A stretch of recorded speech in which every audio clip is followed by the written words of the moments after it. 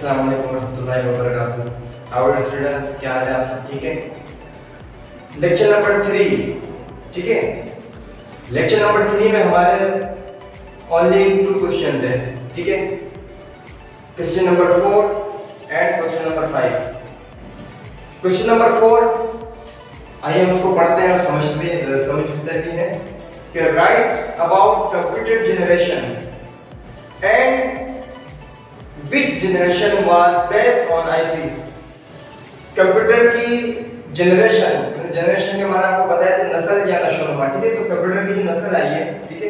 पहले कंप्यूटर कैसे हुआ करते थे किस बेस पे काम करते थे इसके बाद जो कंप्यूटर है, इन तमाम कंप्यूटर के बारे में हम इस सवाल में ब्रीफली मुख्तसर सा पढ़ेंगे जनरेशन की क्या थी। एक सवाल ये हो गया, दूसरा सवाल क्या कर रहा है? And which generation was based on IC IC is full form of uh, IC is a short of uh, integrated circuit ठीक है so सवाल ये कर रहा है कि वो कौन सी जनरेशन थी जिसमें IC का इस्तेमाल हुआ करता था आइए उसको आंसर क्या पढ़ते हैं The period of modern ages of computer are divided into the following generation based on the hardware technology used in their manufacturing. ठीक है? हम मॉडर्न के पीरियड यानी हम तारीखी तौर पर हम उसे मालूम करेंगे कहाँ से कहाँ तक जैसे ये दिया हुआ 1940 से 1956 तक ठीक ये पीरियड दिया जाता तो था? जो कंप्यूटर आते था दूसरे जनरेशन का दौरान क्या था? तो उसको हम तकसीम करते हैं पीरियड के हिसाब से। और ये तकसीम किस तरह होते हैं कि इनके हार्डवेयर यानी इनकी जो काम करने की सलाहियत है टेक्नोलॉजी है उसको जिस तरह बनाया गया, किस बेस पे बनाया गया, किस तरीके से वो काम करती थी, और इसकी इम्प्रूवमेंट के हवाले से ये जनरेशन पे हम बात करेंगे। इसके बाद दूसरा सवाल जो था and which generation was based on IC वो कौन सी जनरेशन है जो कि आईसी पर बेस करती है? वो कौन सा जनरेशन थी जो आईसी पर बेस करती थी? ठीक है? तो वो थर्ड जनरेशन कंप्यूटर की तीसरी जनरेशन थी जो कि आईसी पर बेस करती थी यानी उन जो थर्ड जनरेशन में जो कंप्यूटर आए थे इन्वेंट किए गए थे, उनमें आईसी का इस्तेमाल हुआ करता था। आइए, हम उसके पीरियड वाइज इसके जनरेशन को समझते हैं। पहला जनरेशन फ़र्स्ट जनरेशन ठीक है? फ़र्स्ट जनरेशन 1940 टू 1956 जो पहला जनरेशन था, उसका दौरान 1940 से 1956 तक था, ठीक है?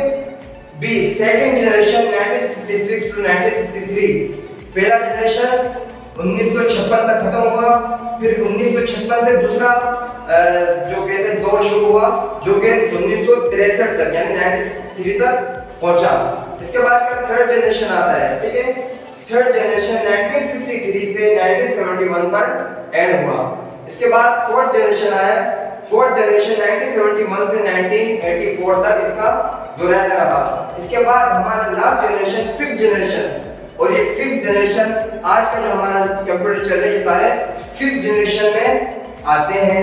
फिफ्थ जनरेशन मींस 1984 1984 से लेकर प्रेजेंट और ये मौजूदा चल रहा है आगे। चलता रहेगा। तो ये पाँच जनरेशन में आपके कंप्यूटर के अकाउंट में कंप्यूटर के पीरियड को तकसीम किया गया है। ठीक है?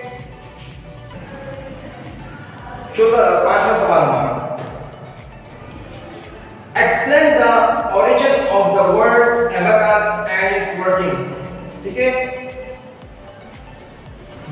of the world explain the origin of the world abacus abacus जो वर्ड है इसके origin को डिफाइन करें एक्सप्लेन करें, और इसकी काम करने को, जो जिस पे किस तरीके से काम करता है, इसको मुख्तसरन एक्सप्लेन करें, बयान करें।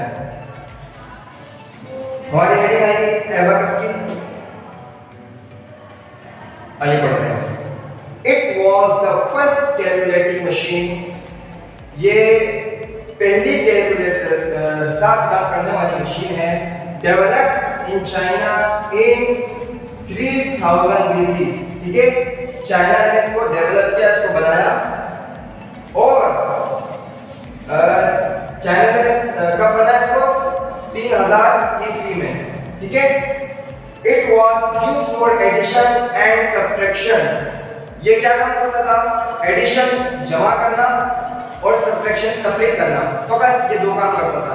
प्लस एंड माइनस इसके अलावा दूसरा काम वो, नहीं करता था simple it consist of a rectangular frame having movable beads on wire consist मान होता है, मुश्तमिल होना। ठीक है?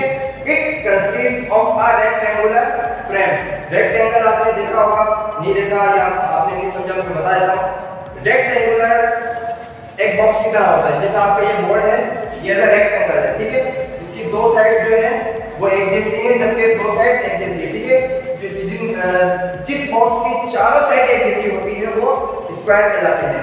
लेकिन जिसकी दो साइड एक जैसी और दूसरी दो साइड एक जैसी हो, वो रेक्टेंगल कहलाता है, ठीक है? यानी पैरेलल हो, दो साइड की पैरेलल हो तो वो रेक्टेंगुलर कहलाते हैं। तो ये मुश्तमिल था रेक्टेंगुलर फ्रेम पर, ठीक है? Having movable beads on wire और इस पर इसके साथ वायर जुड़े हुए थे, जिसके अंदर बीट्स मोती नुमा मैंने आपको लेक्चर में बताया था मोती नुमा होते थे। उसके साथ वो होते थे तार में ऐसे उसको एंटर किया हुआ था। आगे क्या कह रहे हैं? It has two section that each calculation are done by moving beads इसके दो सेक्शन होते थे, ठीक है? ऊपर वाले सेक्शन को, ये सवाल भी नहीं आपको समझा रहा मैंने आपको लेक्चर में समझाया जब मैं बार समझा रहा था। तो इट हैज़ टू सेक्शन इसके दो सेक्शन थे, ऊपर वाले पार्ट को हेवर कहते थे, नीचे वाले पार्ट को अर्थ कहते थे, ठीक है? It has two section that each calculation are done by moving bead इसके दो पार्ट होते थे है? एक ऊपर, एक नीचे। और जो बीट होते थे मोटिवा उसके ज़रिए कैलकुलेशन की जाती थी। हमारे सारे सवाल खत्म हो गए मैंने आपको समझा भी दिए हैं और शुरू में आपको उनकी तस्वीरें भी मिल जाएँगी, ठीक है? तो काम तो सफ़ाई सुथराई से होना चाहिए, ठीक है? अच्छा एक और बात आज आपको कहने से मुख्तसर कि जो नंबर है ना जैसे मैंने आपको इस चैप्टर के फाइव क्वेश्चन है तो फाइव क्वेश्चन में मैंने जो नंबर थे उसका रोमन काउंटिंग होना चाहिए। वर्ड मीनिंग के जो 10 वर्ड्स है इसकी भी रोमन काउंटिंग होनी चाहिए। डिफ़िकल्ट वर्ड्स की भी रोमन काउंटिंग और ये पहला, दूसरा, तीसरा, चौथा, पाँच सवाल है तो इनमें भी रोमन काउंटिंग होनी चाहिए, ठीक है? गलती ना हो पाए, बिल्कुल आराम से सुकून से काम करना है और लेकिन मुझे काम बिल्कुल साफ़ सुथरा चाहिए, ठीक है?